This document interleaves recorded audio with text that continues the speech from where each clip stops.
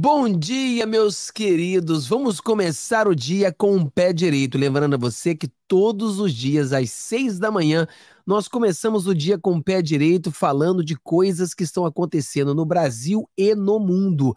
Hoje vamos falar sobre isso. O FBI entra em cena no, no caso das joias. É isso que você está ouvindo. A Polícia Federal do Brasil, eles pediram ajuda ao FBI para identificar certas joias nos Estados Unidos. Você acha que isso é bom ou você acha que isso é ruim? Em quem você confia mais? Na Polícia Federal Brasileira, que está querendo investigar o que aconteceu, ou a Polícia Federal Americana, que vai investigar? O que, que você acha? Se você acha que a Polícia Federal Brasileira coloca um, você confia mais neles, você acha, ó, oh, Fábio, nesse momento, realmente eu confio mais na Polícia Federal Americana. Então você coloca o 2, que nós vamos ver ali o que, que você pensa. Não tem certo ou errado, o que tem é a opinião de cada um de nós, né? Então não esqueça isso. Galera, meu nome é Fábio, aqui do canal Vida Gringa. Se você não se inscreveu ainda, por favor, inscreva-se no canal, dê essa força pra gente. Nós tivemos 10 mil pessoas novas entrando no canal esse mês e você faz parte disso ou poderá fazer parte disso. Torna-se aqui uma, uma pessoa da família Vida Gringa. Se você quiser fazer parte do, do grupo de membros, né, você também pode tornar-se grupo de membros. E se você quiser ajudar de qualquer forma, ajuda. Lembrando que nós temos um grupo de WhatsApp, aonde o grupo está muito bem, a gente bate papo direto do que está acontecendo. Vamos direto ao assunto, sem muito lero-lero. A gente tem algumas coisas para falar com você aqui. Então vamos lá falar sobre essa situação aqui da Polícia Federal pedindo ajuda, no caso, o FBI. Olha isso aqui, pessoal. Isso aqui é. Eles estão querendo, né? O cerco está fechando, eles querem porque querem prender o presidente é, Bolsonaro, mas nós estamos na luta para informar o povo para que isso não aconteça. Polícia Federal pede ajuda ao FBI para localizar relógio desaparecido do acervo do presidente. O objeto da marca Petit Philippe teria sido desviado em novembro. Essa marca, pessoal, Petit Philippe, eu lembro que eu conheci um senhor para quem eu trabalhava com ele, um senhor muito rico, e ele sempre falava para mim que o, o, o Petit Philippe é um dos melhores relógios que existe no mundo, né? Ele tinha um e mostrava direto. Então você pode imaginar é, esse relógio, né? Esse é um relógio que realmente vale uma fortuna. Ah, Vamos lá. A Polícia Federal pediu ajuda do FBI dos Estados Unidos para encontrar um relógio da marca Petit Philippe, que o ex-presidente Jair Bolsonaro teria recebido de autoridades do Bahrein. Segundo a corporação, a peça foi desviada diretamente para o acervo pessoal do Bolsonaro. O relógio teria chegado às mãos do ex-presidente em novembro de 2021. Provavelmente não foi registrado pelo então gabinete de adjunto à documentação histórica da presidência da República, o procedimento que é obrigatório. Ah, o relatório da PF afirma que a peça foi vendida em junho de 2022 à loja Precision Watches, especializada em relógios de luxo. Segundo a corporação, na consulta, o documento refere-se ao acervo privado do ex-presidente. Não foi identificado nenhum registro do relógio. O fato indica possibilidade de referido bem nem sequer ter passado pelo então Gabinete de Adjunto Documentação Histórica para a realização do tratamento de classificação bem, diz o relatório. A PF afirma que o artigo é necessário para a definição do destino do bem. Se o acervo público ou ao acervo privado do presidente a investigação não especificou o valor do relógio, segundo a corporação, porque até o presente momento o Estado brasileiro não tinha ciência de sua existência. A corporação também menciona que há um registro de pagamento realizado a Mauro Cid pela Precision Watches no valor de 346 mil reais. A quantia seria referente à venda do relógio Petit Felipe e de um relógio Rolex. Segundo a PF, o Rolex foi recuperado em 14 de março deste ano pelo advogado Frederick Wassef que já defendeu a família Bolsonaro e comprou o objeto. A loja de Precision Watches aparece em outros trechos da investigação no site da empresa. A informação de que ela fica localizada no Winston Globe Park Mall, em Pensilvânia, nos Estados Unidos. No catálogo, no catálogo a, a há relógios que chegam até 240 mil. Pessoal, então tá aqui a operação, tudo isso. Então, a, a Polícia Federal aqui nos Estados Unidos agora está investigando tudo isso aí. E aqui eu tenho um vídeo, que esse vídeo aqui é muito interessante, que eu quero contextualizar isso aqui tudo para você entender o que que ele está falando aqui. Na verdade, pessoal, nem sei quem é esse cara aqui, mas ele estava na, na no, no, no, Oeste. Gostaria que você fosse no comentário, fale para mim qual o nome desse cara aqui, mas vamos ouvir o que ele tem para falar forçada, uma interpretação completamente forçada, porque aquilo ali podia ter sido eh, decidido de fato ali, né? Como tinha mais do que uma interpretação, eles falaram: olha, é, não vou permitir que seja em Curitiba, então, olha, o Lula agora é, é inocente a, a força de tudo. Ora, que Bolsonaro está sofrendo agora é a cauda longa da revolução, naquilo né? que Lenin já dizia. Depois que você vai lá, toma o poder consolidado, você tem que trocar o regime. Para aquele antigo regime não voltar, você tem que fazer a mesma coisa que Maquiavel, sabe? A maior influência de Lenin, além de Marx, que era Maquiavel, dizia, ou seja, se livre de todo mundo, inclusive se livre dos próprios herdeiros, dos futuros herdeiros, né? Por isso, por exemplo, que Lenin, quando faz a Revolução Russa, no ano seguinte, em 1918, ele já vai lá, mata, né, fuzila, inclusive, né, o jovem, uh, o mais jovem, né, do, dos Romanov, com seis anos de idade ali, mata todo mundo, falando assim, não pode ter ninguém com sobrenome Romanov por aqui. Isso é a cauda longa da Revolução. Agora o Bolsonaro, ele vai tentar, tudo que fizeram com Lula vai, ter, vai ser feito com Bolsonaro, só que agora, ao invés de você ter um triplex, um sítio em Atibaia ali com os pedalinhos com o nome dos netos, com toalhinhas nas gavetas com o nome de todo mundo. Agora você vai lá e fala assim: olha, pega o ajudante de ordens, que ele tinha um Rolex, etc, etc.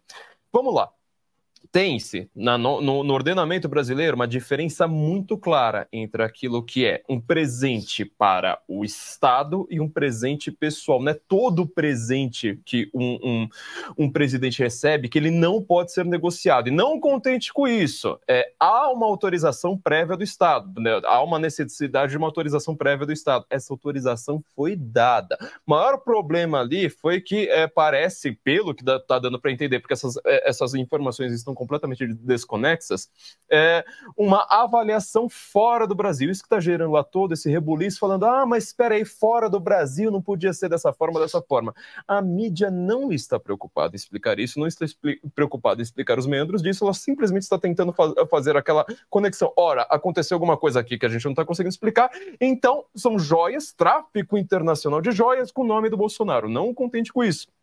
O Brasil hoje, ele tem um vórtice que tudo devora, chamado 8 de janeiro. Ou seja, tudo que acontece de ruim no Brasil, né? Cai um gatinho da árvore, você já vai lá, tenta associar com atos golpistas antidemocráticos do 8 de janeiro. Agora a gente acabou de ver, Lisiane Gama, tá? Hoje, agora há pouquinho, ela já está tentando fazer uma associação entre financiamento internacional com joias para o 8 de janeiro. Tal como acontece, né? Uma discussão ali no aeroporto de Roma pelo visto por, por causa da área VIP, e aí a Polícia Federal é obrigada, tem que fazer, passar essa vergonha. Não, eu imagino a vergonha que os agentes estavam sentindo de ter de perguntar se uma pessoa que discute com o filho do ministro no aeroporto de Roma por causa da área VIP financiou os atos do 8 de janeiro. Então, tudo isso aí é um monte de histórias mal contadas só para você falar. Acontecem coisas ruins, cola no Bolsonaro. Agora são sete. Olha, muito interessante. Muito interessante a fala dele, porque ele diz aqui que, por exemplo, existe um, as joias ficam de um lado, né, para o, o lado do, do, do, do, do Estado, e a, lá, a joia pode ficar do lado pessoal. E do pessoal, o presidente pode fazer muitas das coisas que estão fazendo. Então, o que, que ele falou ali, o que o, tiro o mais importante de tudo, quero que você também coloque isso no, no, no seu, nas suas análises, é que as informações que estão sendo é, vazadas, como as manchetes de jornais, você não pode acreditar em absolutamente nada, porque está tudo muito confuso. Está tudo muito confuso, muito perdido. Cada um fala uma coisa. Cada um fala uma coisa. E, infelizmente, muitos deles torcem, né? eles são torcedores para o Lula. Então, por exemplo, é difícil da gente é, acreditar né, na, na, na, na mídia de hoje, sabendo que eles defendem tanto o Lula. E votaram para o Lula e fizeram o L para o Lula. Então fica difícil a gente olhar isso e falar assim, pô, mas isso aqui é uma coisa normal. Olha só esse vídeo aqui que a gente já viu, mas nós precisamos mostrar muitas vezes para que você não esqueça. Olha só esse vídeo aqui, eu acho que botando. Vamos lá. Sabe o que, que é alguém sair da presidência com 11 containers? Não sei. Sem ter onde pôr? 11 containers. E sabe o que é sair com cadeira, com trono, com papel, com, com tudo que você pode? Sabe o que, que é alguém sair da presidência com 11 containers de acerto sem ter onde pôr? E sabe o que é sair com cadeira, com trono, com papel, com, com tudo que você possa imaginar? Porque se somar todos os presidentes da história desse Todos. país, desde Floriano Peixoto, eu fui o que mais ganhei presente. Uhum. Porque viajei mais, porque trabalhei mais, porque Aham. viajei o mundo, até, até trono da África. Trono. O que, que eu faço com isso? Bom, eu não sei, né? Também dizem por aí que uh, existe um presidente aí que foi o que mais roubou na história do Brasil. Né? Tem um presidente que supostamente dizem que foi o mais que mais ganhou presente, tem um que dizem que foi o que mais roubou. Ou seja, tem muita coisa acontecendo. Mas o interessante aqui é que você tem o Lula confessando, né? Que ele tinha, ah, Fábio, mas lá era legal fazer isso, aquilo é aquilo. Qual é, qual é a ilegalidade? Foi o que a gente falou no vídeo de ontem. Não sei se você assistiu no vídeo de tarde, à noite de ontem, aonde nós falamos sobre o Bolsonaro, fizemos uma análise maior sobre isso. E a grande verdade é essa: é que aqui nos Estados Unidos eles querem prender o Trump, no Brasil eles querem prender o Bolsonaro. Só que mesmo no Brasil, com essa injustiça toda, e nos Estados Unidos como uma semi-injustiça, o que acontece? Eles não podem prender o Trump ou o Bolsonaro sem que eles tenham algo muito forte para mostrar, um batão na cueca. É tipo nos Estados Unidos também, né? Existe uma lei muito simples. Se A, uma pessoa chamada A morreu, só que ninguém encontra o corpo do A, cara, ninguém pode ser preso. Por quê? Porque o corpo não foi encontrado. Então, esse é um problema. A arma não foi encontrada.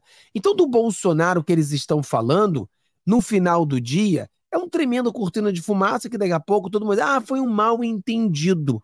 Foi um mal entendido. Bolsonaro não vendeu nada. Bolsonaro, se vendeu, vendeu o que, que ele tinha autorização para vender. Ou seja, nada de errado. O Bolsonaro foi o primeiro a abrir abrir a sua conta bancária. O Lula, quando estava sendo investigado, ele não abriu sua conta bancária. O Lula escondia tudo, não queria que ninguém visse. Entendeu? Bolsonaro não. Primeira coisa que o Bolsonaro fez foi oferecer. Vocês querem investigar? Tá aqui. Pode investigar minhas contas, pode investigar. Como eu falei no, no vídeo de ontem, é quem, de, quem, quer, é quem, quem não deve não teme. Hum, temer o quê? Vai temer o quê? Porque essa é, é, o que a gente consegue ver. A única maneira de um, de, um, de um, Trump ser preso, a única maneira de um Bolsonaro ser preso é se eles encontrarem o batom na cueca. Vai ter que ser algo assim grande, óbvio, algo incontestável. E, e eles não vão encontrar isso. Não vão encontrar. Eles estão desesperados para tentar sumir com o bolsonarismo, tentar acabar com o bolsonarismo, e eles têm essa ideia. Se a gente, se a gente conseguir prender o Bolsonaro, o bolsonarismo acaba. Se a gente conseguir denegrir a imagem do Bolsonaro, o bolsonarismo acaba. Não vai acabar. É, não vai acabar. As pessoas, aquilo que Bolsonaro criou, esse movimento, fenômeno, isso nunca vai acabar a gente vai continuar lutando. É como a gente falava: se o Bolsonaro for preso, Deus me livre e guarda, nós continuaremos apoiando o presidente. E quem ele apontar, a gente vai votar. E a gente tem uma chance grandíssima de ganhar essas eleições em 2026.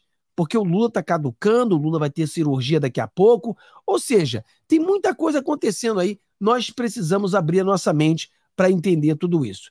Vamos dar uma olhada aqui dar um giro aqui rapidinho no, no, no, nas coisas que estão acontecendo aqui no nosso Brasil. Começando esse dia com o pé direito, galera, que coisas boas aconteçam na sua vida nesse domingão, né? Venezuela, Suprema Corte ordena intervenção em partido de oposição de Maduro. Cara, e aí me vem o canalha do presidente do Brasil, entendeu? O Maduro. É inacreditável. A Suprema Corte ordena intervenção em partido de oposição. Então isso aí pode. A Suprema Corte, que lá no, no, no, na Venezuela é um pau mandado do Maduro eles fazem o que o Maduro manda fazer. E para aí, o que, que acontece? Eles mandam o Maduro, o, a Suprema Corte fazer, o Maduro manda a Suprema Corte fazer, a Suprema Corte faz, e passa na cabeça das pessoas que foi algo legal. Foi algo legal. Vamos lá, vamos lá, vamos lá, galera. Vaiados no evento do PAC, Castro e Lira decidiram não ir ao encontro oferecido por Lula. Ah, meu Deus. Eles foram tão vaiados, tão vaiados, tão vaiados, porque o que acontece? Esse tipo de pessoa que eles são vaiados pela esquerda e pela direita. Né? Porque o pessoal da direita não gosta do Lira, o pessoal da direita não gosta do Castro, mas é, é a esquerda tampouco gosta deles. A esquerda, se você segue canal de esquerda para você aprender como a esquerda pensa, a esquerda tem lutado muito para derrubar o Lira. A esquerda não quer o Lira de jeito nenhum. Então você entende as coisas que estão acontecendo. A grande verdade é que nós poderemos chegar em 2026 com você forte e firme com o governo de Minas, o governo de São Paulo e o governo de Rio de Janeiro. Esses se unindo para uma escolha de um da direita. E a gente vai com tudo para que ele vença. Então, cara, abre os olhos. Cassação de Dallagnol e ação contra Moro são vinganças do PT, diz Glenn Glenwald. Cara, isso aqui me bugou. Porque o Glenn Glenwald foi o cara casado né, com o rapaz que faleceu, né?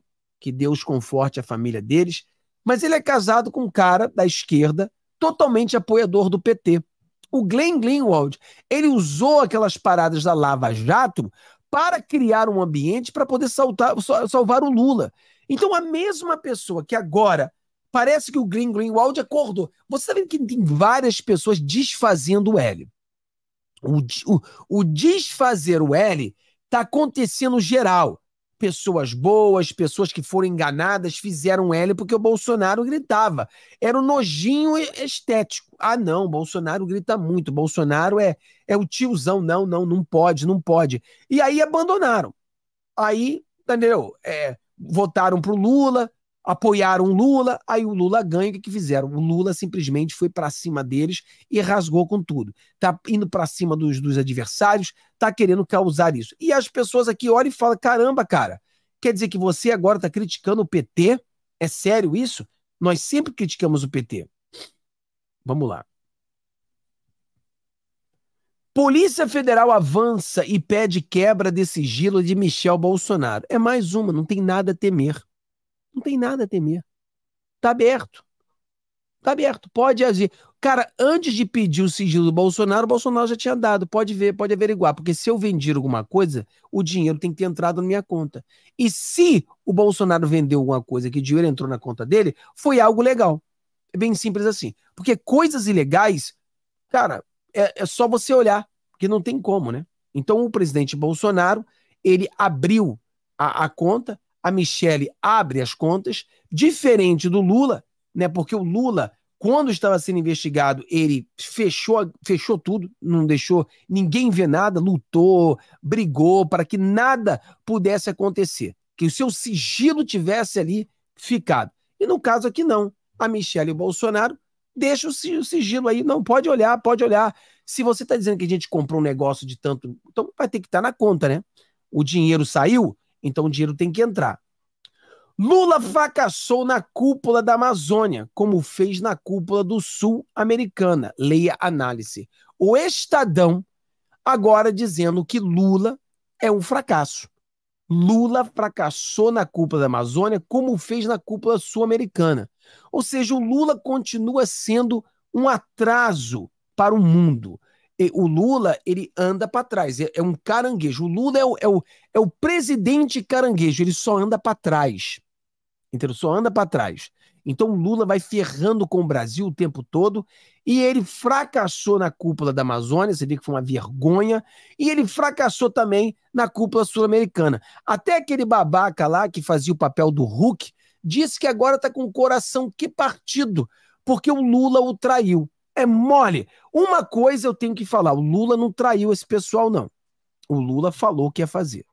Tudo que o Lula está fazendo de diminuir a, a, a, os militares, de, de caçar os oponentes, de usar aí o Dino para fazer as coisas erradas, tudo isso todo mundo sabia.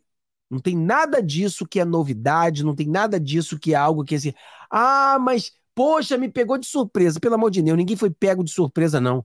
O Lula sempre foi esse Lula que tá todo mundo vendo. Não adianta querer pegar uma agora e dizer, não, mas é diferente, é porque o Lula mudou. Não, não mudou. É a mesma coisa. O Lula não prestava, não presta, não prestará. O Lula começa a fazer as mesmas coisas que fazia antes, acreditando que agora alguma coisa vai acontecer e não vai ser igual. Você fala, pelo amor de Deus, cara. Entendeu? Da onde tira essa cabeça? Como que vai ser diferente? Como que vai ser diferente se você está fazendo a mesma coisa? Então é de se esperar que esse ano o Brasil ainda cresça, porque o Bolsonaro deixou o Brasil com dinheiro no banco. Agora, quando esse dinheiro acabar e o Lula tiver que fazer dinheiro, aí você vai ver que o problema começa a acontecer. E o que, que a gente faz? A gente torce para o problema. Numa briga entre o Lula e o sistema, a gente torce, nós torcemos para a briga. Que eles continuem brigando, que eles continuem atrapalhando o outro que assim seja, tá bom? Então tá isso aí, galera. Deus abençoe todos vocês, que vocês tenham um dia maravilhoso. Vamos continuar com a oração aí, o nosso presidente Bolsonaro, porque eu acredito que o Bolsonaro seja inocente, acredito que tudo isso é uma, uma, uma narrativa, que daqui a uns dois, três dias tudo vai estar esclarecido para todos nós. Vai, tudo vai estar esclarecido. Então entenda isso. Vamos ficar junto com o Bolsonaro, não solte a mão, temos orgulho de ser bolsonarista e ver o Brasil vencer uma vez mais. Derrubando Lula, o Lula não vencerá em 2026, Lula não vencerá com as eleições municipais, nós iremos ter grandes vitórias, tá bom? Deus abençoe a todos. Vejo vocês daqui a pouquinho no nosso próximo vídeo. Tchau, tchau, galera.